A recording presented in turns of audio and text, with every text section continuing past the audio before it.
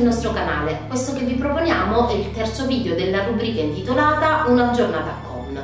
Questi video servono a presentare vecchi e nuovi amici della compagnia del Vespro, perché la rievocazione storica dà la possibilità di stringere rapporti di amicizia e aggregazione tra le persone.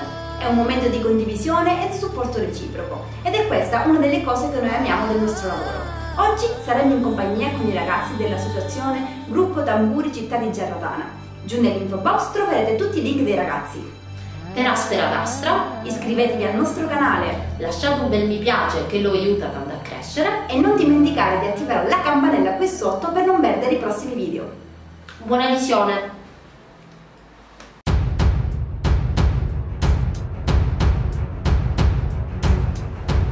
Ciao a tutti, io sono Giussi e noi facciamo parte del gruppo Tamburi Città di Giarratana.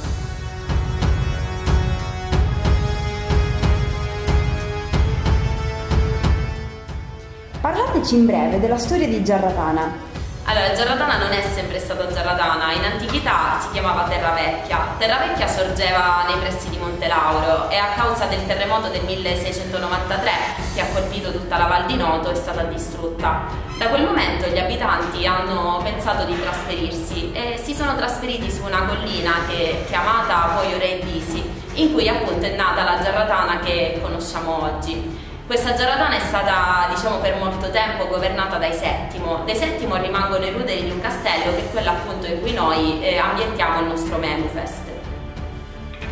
Raccontateci la storia del gruppo Associazione Gruppo Tampuri di Città di Giarratana. Il nostro gruppo nasce nel 2010, ma solo nel 2012 nasce la vera e propria associazione, quindi nasce ufficialmente. Il gruppo diciamo che nel corso del tempo ha avuto tanti cambiamenti e ha avuto una bella crescita anche per il numero di componenti che ha ad oggi. Arriviamo circa a 38, proprio a 38 elementi, di cui 6 trombe egiziane.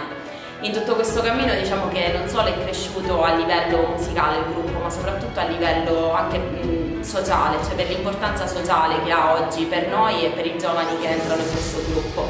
Infatti non andiamo avanti solamente suonando i tamburi, ma siamo una vera e propria famiglia.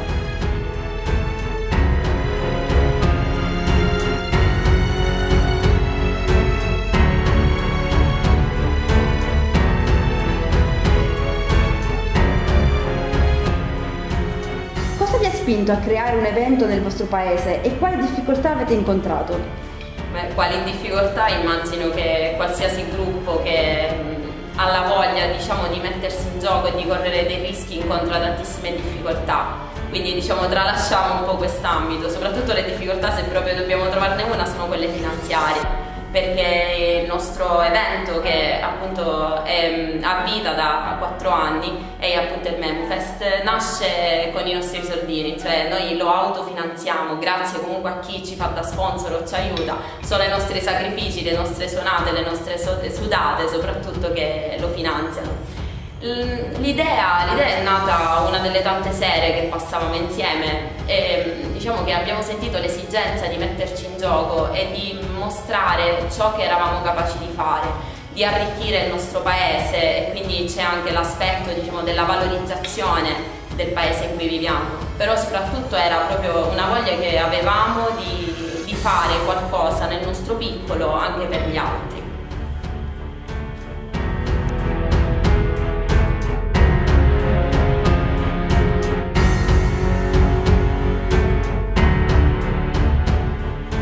Molti se lo chiedono. Potreste spiegare tecnicamente cosa fate quando vi si rompe una bacchetta o battente durante un'esibizione? Mm, non facciamo nulla, eh, abbiamo proprio qua negli stivali, in questo momento ce l'ho, una bacchetta di riserva che nell'eventualità tiriamo fuori e se non dovesse essere disponibile ce le, pass ce le passiamo tra di noi, magari da fila a fila.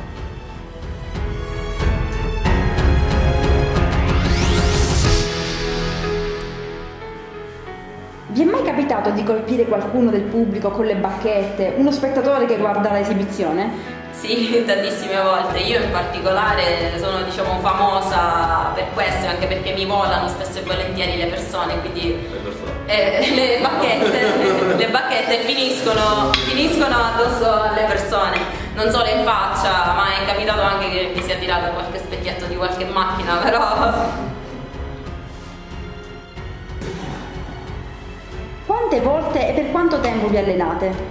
Allora, noi durante l'inverno ci alleniamo due volte a settimana per una media di un'ora e mezza, due orette, poi durante l'estate quando le suonate diventano più frequenti arriviamo anche a quattro volte a settimana. Quale o quali sono i momenti che più vi piacciono durante le manifestazioni in cui avete partecipato? Allora direi che a noi piacciono tutti i momenti, però soprattutto quando finiamo di suonare, ci ritroviamo magari a mangiare o a bere qualcosa insieme o a parlare con gli altri ragazzi che magari conosciamo e con gli altri gruppi. Questo penso sia il momento più bello perché fa famiglia e fa comunità.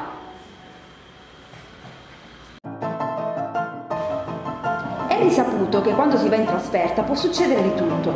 Spesso si ride e ci si diverte. Avete un aneddoto divertente da raccontare successo tra il gruppo?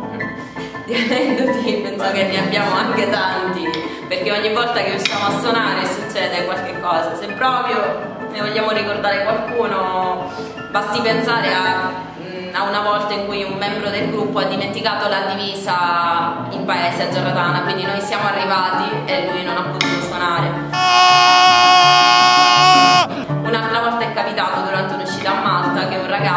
Sempre del gruppo giustamente, ha sbattuto il naso contro la vetrata del, del balcone dell'albergo convinta che fosse aperta invece era chiusa, quasi, si è quasi rotto il naso.